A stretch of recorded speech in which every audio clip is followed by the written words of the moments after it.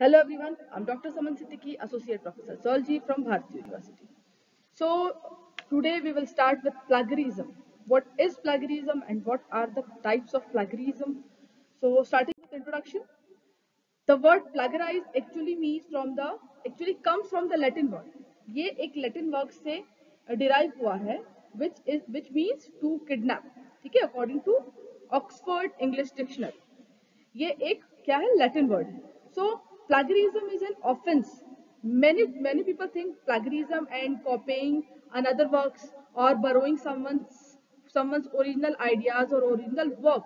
But term like copying and borrowing can distinguish the seriousness of the offense.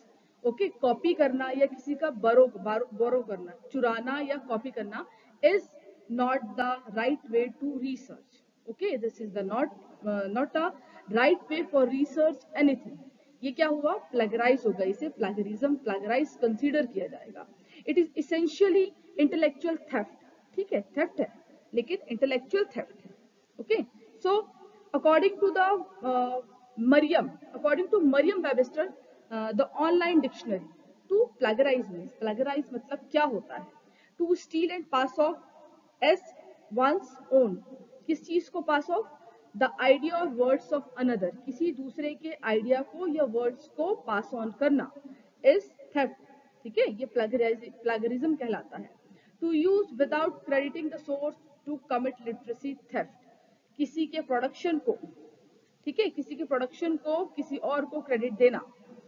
To present a new and original an idea और product derive from an existing source किसी existing source से किसी के idea को आगे derive करना is also consider as plagiarism plagiarize okay so next the meaning of plagiarism what is the meaning of plagiarism plagiarism is the act ये हमें पता है it is an act stealing someone else works and attempting to pass it off as your own this can apply to anything किसी में भी apply हो सकता है like like, for term of research papers photographs songs even ideas etcetera ठीक है? सो submit a paper अगर हम पेपर सबमिट करते हैं, या dissertation this thesis to be graded और रिवाइव ठीक है? That you have not return और ऑन योर ओन अगर आपने अपनी थीसिस या रिसर्च पेपर आपने खुद से राइट नहीं लिखा है तो उस पर प्लेगरिज्म आएगा। ठीक है मैं आपको आगे बताऊँगी कि कितने परसेंट प्लेगरिज्म में क्या प्रॉब्लम्स हो सकती हैं। देन नेक्स्ट टू है कॉपी कॉपी आंसर और text from another classmates and submitted your own जैसे कि हम चीटिंग करते हैं हमने किसी और की कॉपी को खुद का बना करके या किसी की और की कॉपी से आंसर कॉपी करके हमने सबमिट किया this is called plagiarism okay cite data without crediting the original source बिना ओरिजिनल सोर्स के डेटा को साइट करना।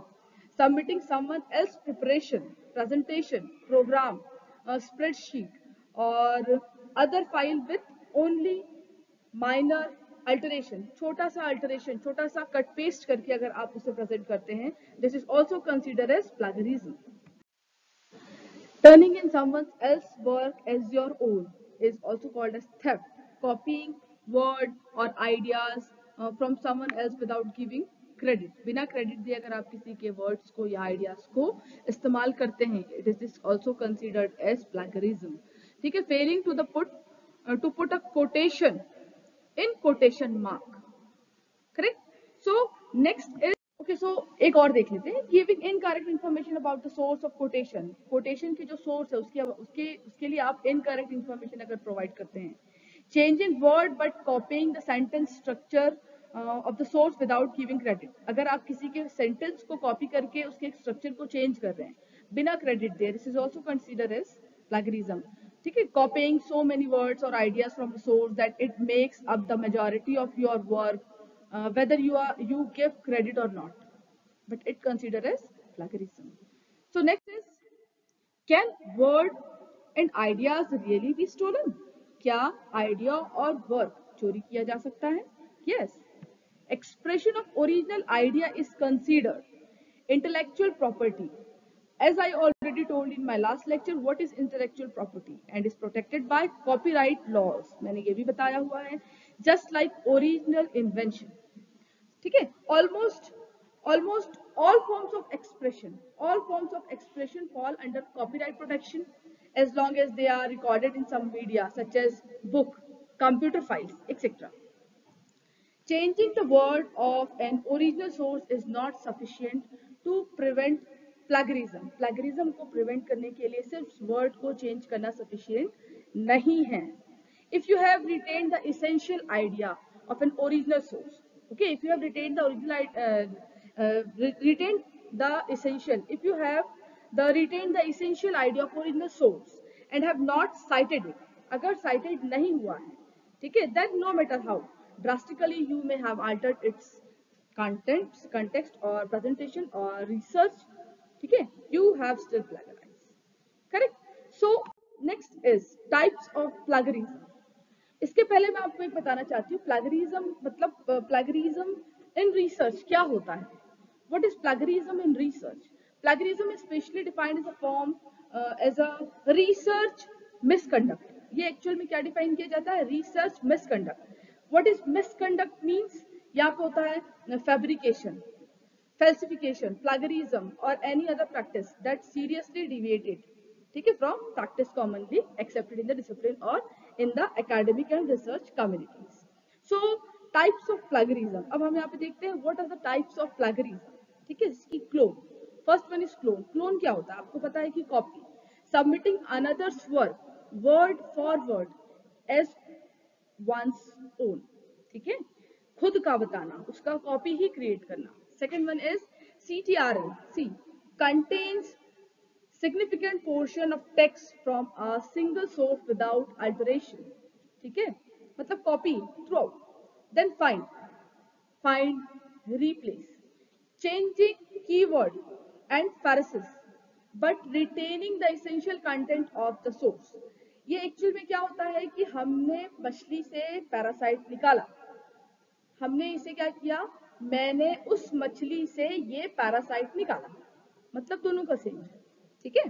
अब हम देखते हैं रिसाइकल सो रिसाइकल से आपको पता है borrows generously from the writer previous work without citation बिना साइटेशन के चोरी करना।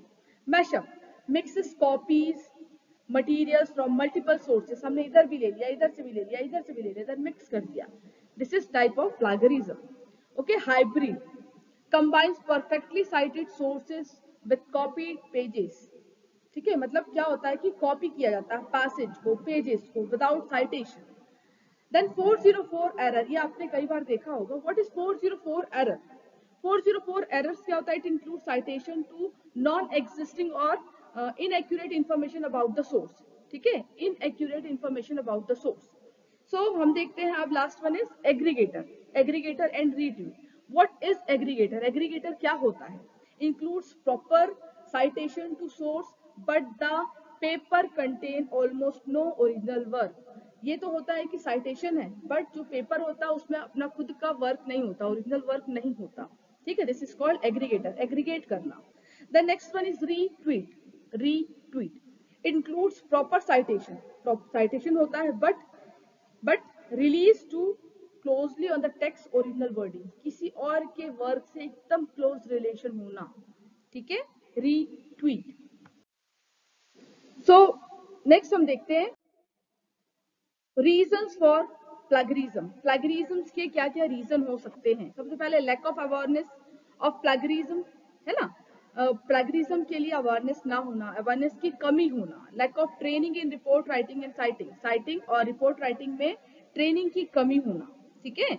Lack of time management skill time management skill में कमी होना, आपको टाइम मैनेजमेंट स्किल करना बहुत इंपॉर्टेंट है। सो एकेडमिक प्रेशर होना, ठीक है? एकेडमिक प्रेशर होना कि आपको ये करना है you will have to do within few days within this time okay so peer pressure create होना pressure from families and friends की ये जल्दी करना है, इतने दिन में हो जाना चाहिए। This is the reason of plagiarism might be ये आपके साथ भी हो सकता है, मेरे साथ भी हुआ होगा। But we will have to do what we will have to plagiarize all the things हमें ओरिजिनल वर्क पे ही काम करना है। सो नेक्स्ट इज़ हम इस पे ही कंटिन्यू करते हैं। तो इस पे हम देखते हैं देखते हैं कि कंप्लीट प्लैगरिज्म क्या होता है। What is complete plagiarism complete plagiarism is the most severe for, from the plagiarism where a researcher takes a manuscript or study the, that someone else created. ठीक है? किसी और का क्रिएट किया हुआ and submit it under his और her name खुद के नाम से या अपने मतलब मैं मेरे नाम से अगर मैं सबमिट करती हूँ किसी और का बनाया हुआ। दिस इज़ कंप्लीट प्लगरिज्म मतलब 100 परसेंट प्लगरिज्म आएगा। It is testament to intellectual theft and stealing एक 100 परसेंट स्टीलिंग कहलाएगा 100 परसेंट थेफ्टिंग कहलाएगा। ठीक है? सेकेंड वन हो जाता है source based plagiarism source based plagiarism मतलब क्या होता है? प्लगरिज्म में occur because of the different types of sources the अलग अलग सोर्सेज की वजह से जो प्लगरिज्म ऑकर होता है for example when a researcher references a source that is incorrect जिसे उसे अगर कोई सोर्स के थ्रू कोई रेफरेंस मिला है ठीक है? सोर्स मिला है या uh, कोई कटिंग मिली है या पेपर मिला है जो कि इनकरेक्ट है और डज नॉट एग्जिस्ट जो एग्जिस्ट नहीं करता it is a misleading citation ये क्या होगा? ये मिसलीडिंग साइटेशन है। Plagiarism also occurs when a researcher uses a secondary source of data for information. ठीक है? प्लेगरिज्म हमेशा हमें अपना ही काम करना चाहिए। अगर हम दूसरे का काम कर रहे हैं तो हमें साइटेड करना है, हमें देखना है, या हमें उसे क्रेडिट देना है। ठीक है? But only cites the primary source of information ठीक? But these type of leads do not increase in the number of reference sources Uh, this in turn increase the citation number of uh, the differences, not more than this. So next one is, next one is direct plagiarism. What is direct plagiarism? अगर हम बात करते हैं direct plagiarism की, तो हम पहले देखिए complete plagiarism क्या होता है? हमें पता है complete plagiarism मतलब किसी का पूरा word to word copy करना. So direct plagiarism या verbatim plagiarism occurs when an author copies the text of another author word for word. मतलब कि अगर मैं बात करती हूँ end उस एंड की जगह वो कोई और वर्ड यूज़ करे। लाइक like, ठीक है? कुछ भी।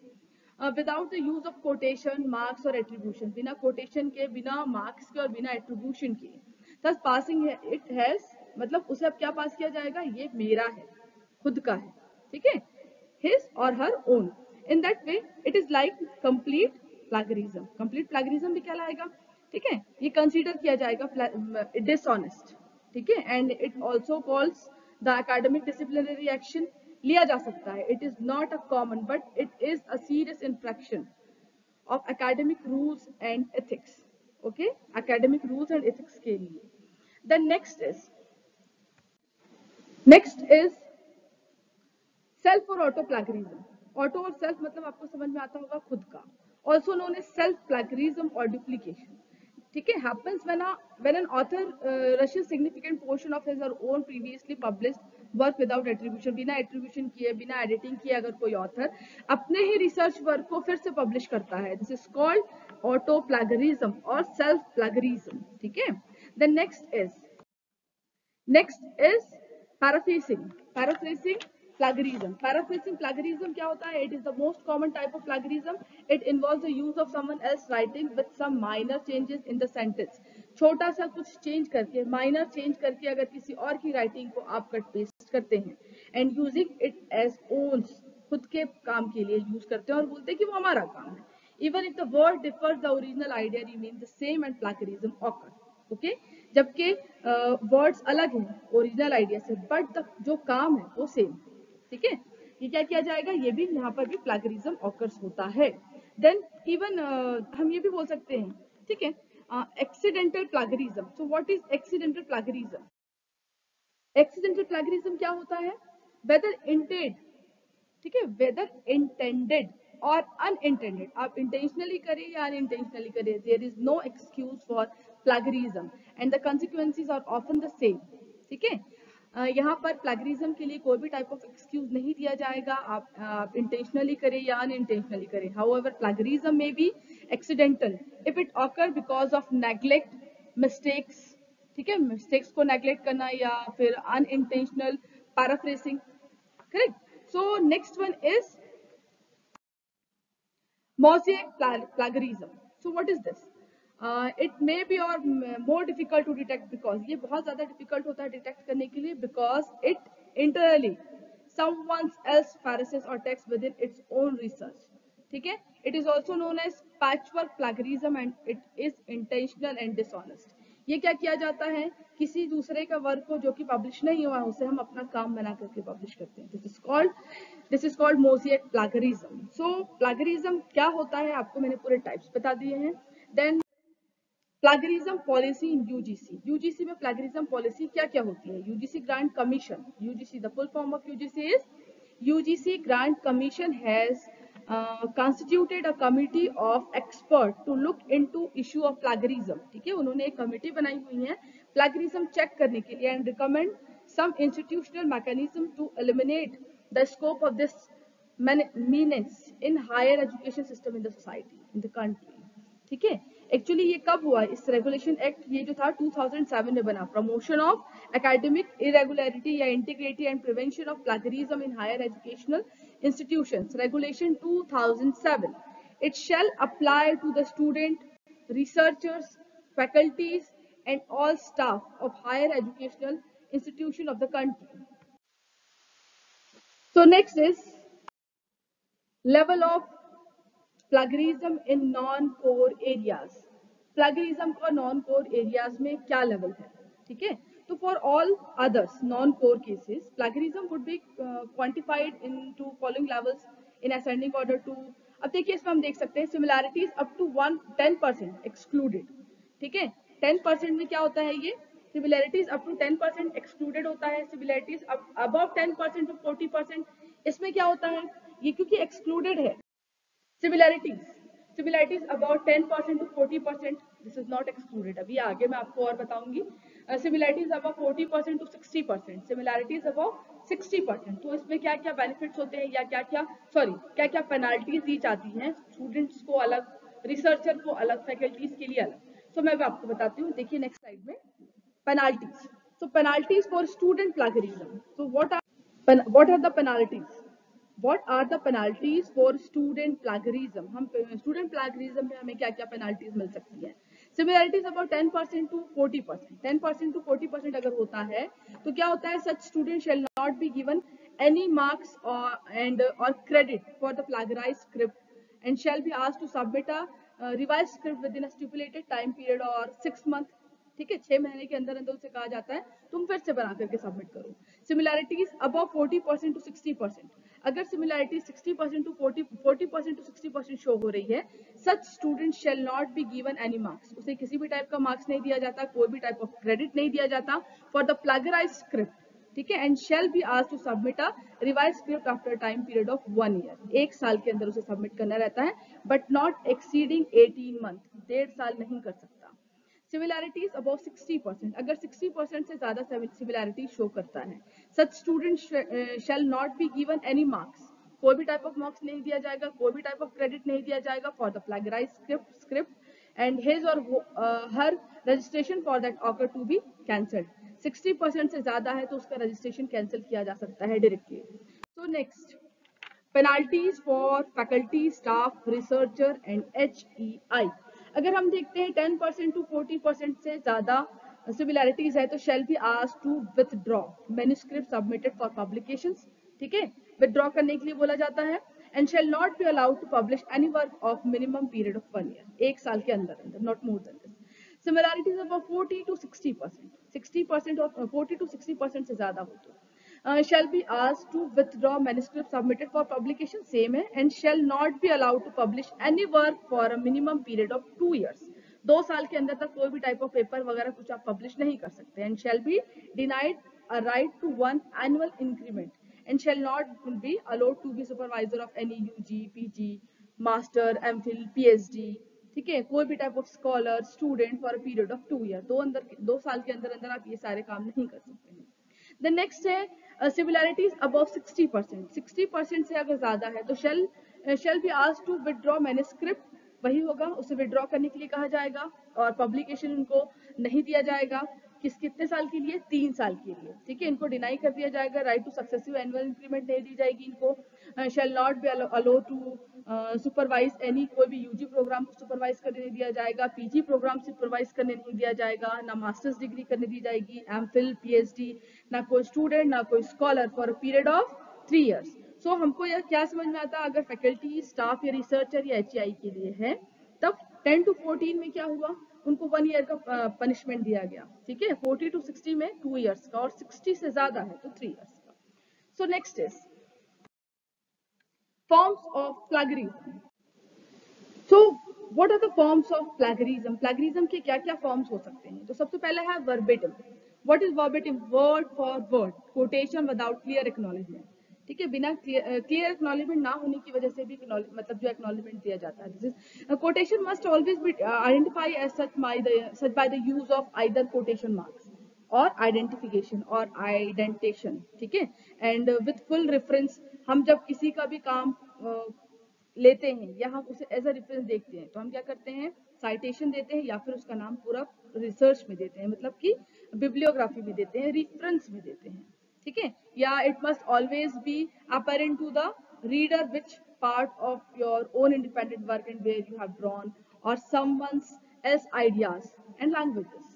So, next one is cutting and pasting from the internet without clear acknowledgement. बिना क्लियर acknowledgement के आप कट करते हैं पेस्ट करते हैं इट इज़ नॉट एक्सेप्टेड ठीक है? Information derive from the internet must be adequately referenced आपको पता है कि वो एडिक्वेटली रेफरेंस्ड होती है and included in the bibliography bibliography क्या है? रेफरेंसेस ठीक है इसे बिब्लियोग्राफी में इंक्लूड किया जाता है। It is important to evaluate evaluate carefully the all materials found on the internet हमें जो इंटरनेट में मटेरियल्स प्रोवाइड किए जाते हैं या दिखते हैं, हम पहले उसे क्या, हमें क्या करना चाहिए? सबसे पहले उसे इवेल्युएट करना चाहिए। And it is less likely to have been through the same process of scholarly peer review as published sources. Correct है? So next one is a paraphrasing what is paraphrasing paraphrasing the work of others by altering a few words and changing their order by or by uh, closely following the structure or their argument. ठीक है? ये क्या किया जाता है? आपको पता है पैराफ्रेस कैसे क्रिएट करते हैं। वर्ड वही होगा सेंटेंस चेंज कर दिया जाता है। इस plagiarism if you do not give due acknowledgement to the author whose work are using clear है? So next one what is next one use of material written by professional agencies or other person ठीक है actually क्या किया जाता है you should neither make us the us of the professional agencies in the production of your work nor submit material which have written okay which have written uh, uh, which has been written for your even with the consent of the person who has written it जब तक उसका consent ना हो जिसने इसे लिखा है it is vital to your intellectual training develop development that you should undertake the research process unaided uh, under Statute 11 of the University Discipline, under Section 28 uh, of the College Discipline, all members of university are prohibited from, from providing material that could be submitted in examination for the by the student at this university or elsewhere. okay, material को मतलब copy use of material written by professional agencies or other person professional agencies का जो material है उसे या कोई agencies का जो मटेरियल है उस रिटर्न मटेरियल उसे हम कॉपी पेस्ट नहीं कर सकते हैं Last one is auto plagiarism. What is auto plagiarism? You must not submit work for assessment uh, that you have already submitted. आपने कोई submit किया है work लेकिन उसका assessment नहीं किया है partially और थोड़ा या पूरा partially or in full either for your current course or for the another qualification of this or any other university unless this is specifically provided for in the special regulation for your course ठीक है? It is मतलब यहाँ पे क्या होता है? Where earlier work by you is citable तुम्हारे द्वारा किया हुआ वर्क अगर साइटेबल है that is it has already been published you must reference is clearly अगर ये पहले से पब्लिश किया हुआ है आपको यहाँ पर रेफरेंस डालना है एकदम clearly piece of work submitted concurrently will the, will also be considered to be auto खुद का काम किया हुआ भी अगर हम पब्लिश करते हैं will consider as a plagiarism. So plagiarism क्या होता है? प्लेगरिज्म के क्या टाइप्स होते हैं? प्लेगरिज्म क्यों होता है? मैंने आपको यहाँ पे पूरा समझा दिया है। सो so, अगर आपको ऐसा है कि और कुछ समझना है आई डोंट थिंक यहाँ पे कुछ बचा है तो this is all about plagiarism so thanks for now